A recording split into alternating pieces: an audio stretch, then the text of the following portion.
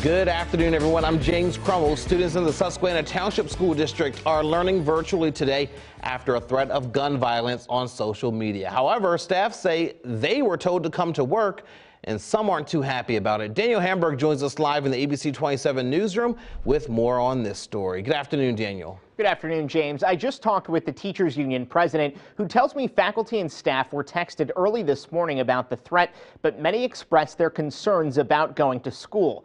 ABC 27 was sent a screenshot of the threat where someone wrote that they would, quote, shoot up the school. It's not exactly clear which Susquehanna Township school that was referring to. Susquehanna Township police are investigating, but have not released any information yet about how credible the threat might be or whether anyone may face charges. Union President Desiree Weaver says she understands the district office doing what police advised it to do, but says it still puts teachers in a difficult spot. She says she appreciates students and parents checking in on teachers.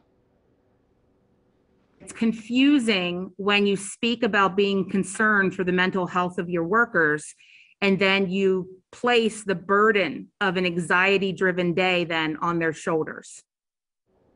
We have reached out to the district and police, and we'll have more on this story tonight at 5 and 6. In the newsroom, Daniel Hamburg, ABC 27 News.